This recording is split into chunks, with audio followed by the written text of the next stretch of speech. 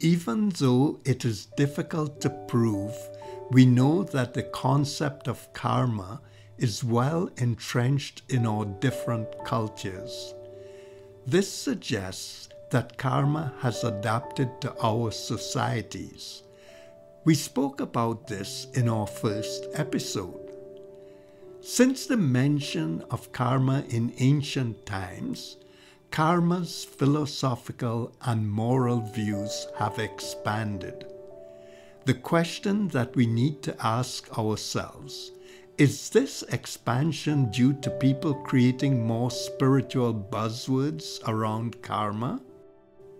Is emerging science providing us with potential hints that may support that increase in information? Or it could be a combination of both. At this time, evolving science can only provide us with small pieces of the puzzle. Hopefully, over time, more details will give us a clearer picture. In the meantime, where in science can we look? An area of interest is in the study of photons and their interaction with our DNA. Simply put, a photon is a small packet of electromagnetic energy.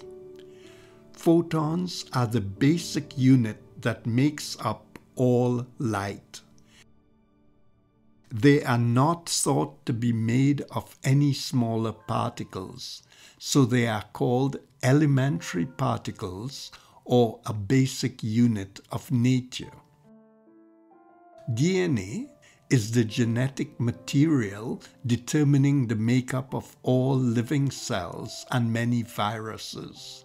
Its structure resembles a ladder twisted in a spiral. In 1993, Dr. Cleve Backster and his team designed a revolutionary protocol to look at the effect of our emotions on our DNA. If affected, at what distance would the effect end? They collected DNA from a volunteer and placed it in a specially designed chamber in another room. The DNA was measured electrically for changes in response. When the subject in another room was shown a series of graphic videos to trigger different strong emotional responses, the DNA in the other area showed strong electrical reactions. Dr. Backster then continued the investigations at an even greater distance.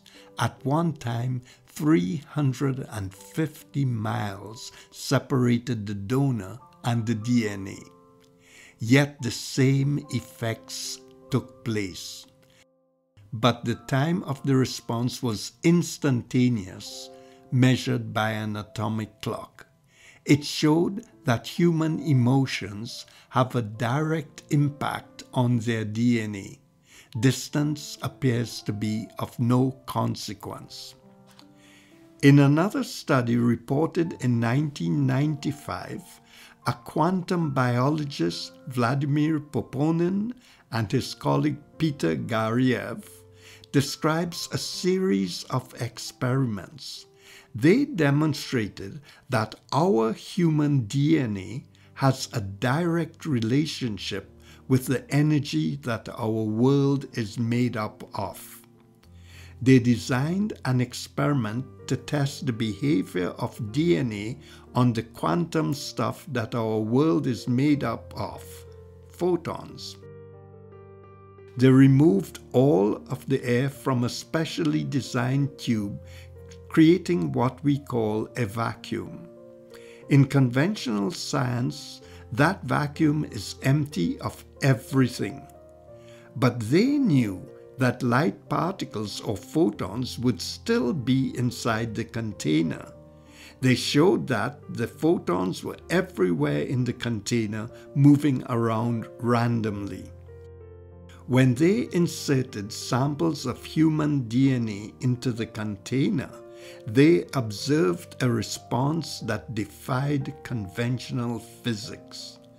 The photons stopped their scattered pattern and lined themselves into a highly specific formation.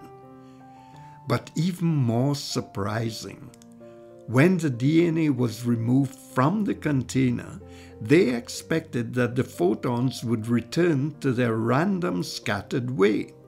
But the photons remained in the same order that existed when the DNA was still in the tube. Let us link these experiments together. Strong emotions affect our DNA. Our DNA affects the quantum stuff of our universe. Emotional judgments influence our karma. Love, compassion, kindness create good karma, and anger, hate produces negative karma. So, what if all our emotions are actually being recorded permanently in the universe by the photons? The universe is fingerprinting our emotions and waiting for us to either clear up our messes or reap our rewards. I always think of this when my emotions are driving me. Am I polluting or cleaning my universe? Are you?